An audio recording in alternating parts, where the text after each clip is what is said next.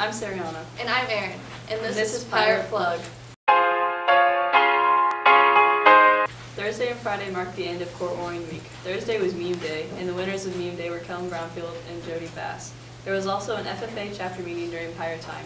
Lucas Ziegelbein interviewed Lauren Luscombe. Hi, I'm Lucas Ziegelbein here with Lauren Luscombe, asking about FFA. So, how was your chapter meeting? Our chapter meeting went well. Last chapter meeting was to focus on leadership, and our one of our leadership classes set up a bunch of games for us to play And uh, how often do you guys meet? once a month. All right, you're it here. Back to you. Thanks, Lucas. Friday was the court warming game and dance. All of the basketball teams played. JV girls won, and they now have a record of 7 to 5. JV boys lost 49 to 60. Varsity girls won 52 to 36, with Jamie Lemons scoring 25 of those points. Varsity boys lost 61 to 59.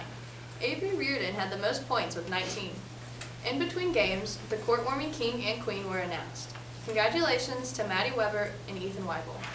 Lucas Ziegelbein interviewed Maddie Weber.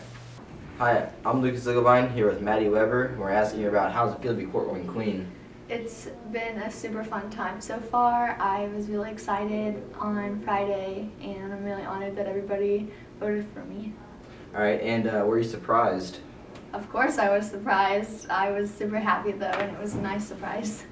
All right, you've heard it here. Back to you. Thanks, Lucas. On Tuesday, varsity boys basketball played the first round in the Southern Boone tournament. They lost 57 to 59, scoring a total of 23 points in the fourth quarter. Clint Penny interviewed Samaj Clark. I'm Clint Penny and I'm here with Samaj Clark. So Samaj, can you tell me your thoughts on the game? It was a great game, hit some big shots, but it wasn't enough for us to win. Alright, how about you tell me about your last free throw that you took? Uh, after the shot, coach called the timeout, and we tried to throw it off the backboard and get it back, but it didn't work out good. Alright, uh, back to you. Thanks, Clint. They'll play again on Thursday.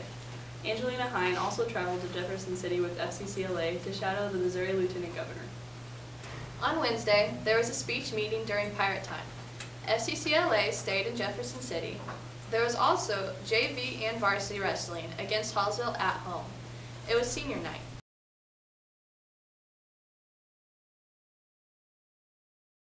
Unfortunately, they lost 24 to 34. This week, drama has been reading through their script for their upcoming play. Cool. So it's at the park I love books. street bowling alley. Oh, cool. Bowling's cool too. Clint Penny interviewed Isaiah Kaufman. Well, sometimes we read like poetry and memorize it to perform in front of the class. Sometimes we read like play scripts to pick what play we're going to do at the end of the year, and we practice and we do the play. Uh, okay, what are you guys currently doing in drama? Right now, we're practicing scripts to work uh, for the play in two to three weeks. I don't know when it is. Don't ask me. Dope. Back to you. Thanks, Clint. This has been Pirate Plug. Thanks for watching.